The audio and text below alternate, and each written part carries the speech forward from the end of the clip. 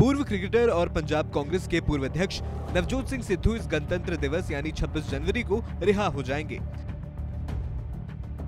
Reports तो इसी ओर इशारा कर रही हैं।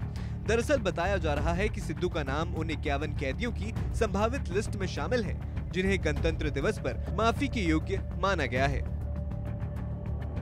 ऐसे में उन्नीस सौ अठासी के रोड रेज मामले में आठ महीने की जेल की सजा काटने के बाद सिद्धू के रिहा होने की संभावना बन रही है।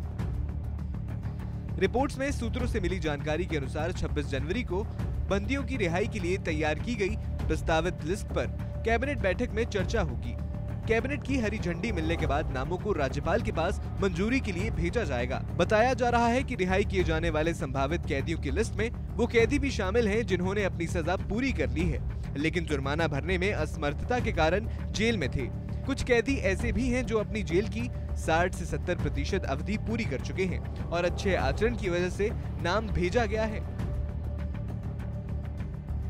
बता दें कि नवजोत सिंह सिद्धू को 1988 के रोडरेज मामले में मई में सुप्रीम कोर्ट ने एक साल की सजा सुनाई थी।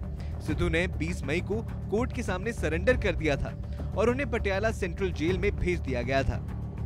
सिद्धू को क्लर्क के तौर पर जेल के कामकाज की ज़िम्मेदारी सौंपी गई थी और उनका आचरण अच्छा पाया गया। उन्होंने जेल में नियम होने के बावजूद भी कोई छुट्टी तक नहीं ली, जो रियायत के लिए उनकी दावेदारी मज़बूत कर रही है। बता दें कि पंजाब कांग्रेस के पूर्व अध्यक्ष नवजोत सिंह सिद्धू पिछले विधानसभा चुनाव में अपने निर्वाचन क्षेत्र अमृतसर पूर्व से हार गए थे।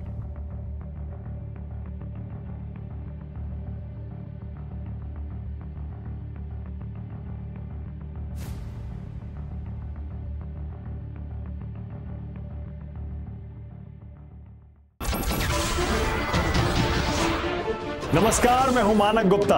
अगर आपको हमारा ये वीडियो पसंद आया हो तो इसे लाइक और शेयर ज़रूर करें। और हाँ हमें सब्सक्राइब और फॉलो करना ना भूलें, ताकि आप देश और दुनिया की कोई खबर मिस ना करें।